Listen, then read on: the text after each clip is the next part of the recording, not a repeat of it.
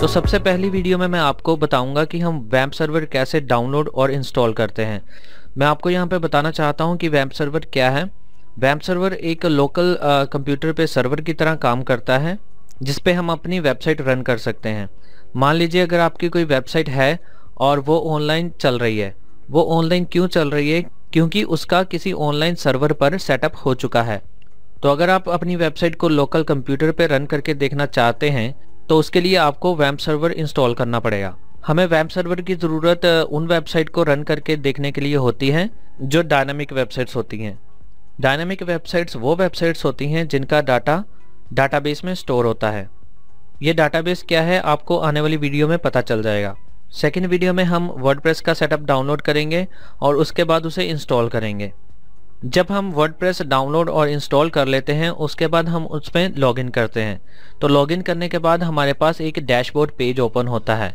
जैसे मान लीजिए आप अपने जीमेल अकाउंट में यूज़र नेम और पासवर्ड फिल करके लॉगिन करते हैं तो उसके बाद आपके पास एक डैशबोर्ड ओपन होता है, जिसके लेफ़्ट साइड पे आपका इनबॉक्स सेंट बॉक्स और ड्राफ्ट ये सारी चीज़ें अवेलेबल होती हैं। जिनमें से आप अपनी ईमेल्स चेक कर सकते हैं या कोई मैसेज कंपोज कर सकते हैं या ड्राफ्ट में कोई मैसेज सेव करके रख सकते हैं।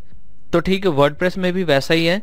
जब हम अपने वर्डप्रेस में लॉगिन करेंगे, उसके बाद हमारे पास डैशबोर्ड पेज ओपन होगा, जिसके लेफ़्ट साइड पे कुछ ऑप्शंस होंगी, जो कि फोर्थ स्टेप में आपको नज़र आ रही होंगी। Post pages plugins widgets users comments ये सारी ऑप्शंस वहाँ पे आपको डैशबोर्ड में मिलेंगी, जिसके ज़रिए हम अपने वेबसाइट को मैनेज कर सकते हैं। ये डैशबोर्ड क्या है?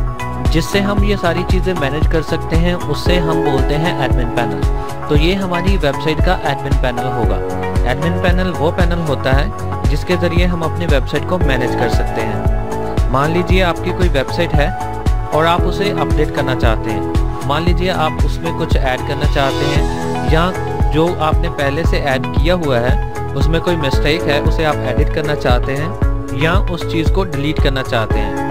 तो आप वो सारी चीज़ें कहाँ से कर सकते हैं? वेबसाइट के एडमिन पैनल से। तो वर्डप्रेस में भी वो सारी की सारी ऑप्शंस हमारे एडमिन पैनल के थ्रू हैंडल हो सकती हैं।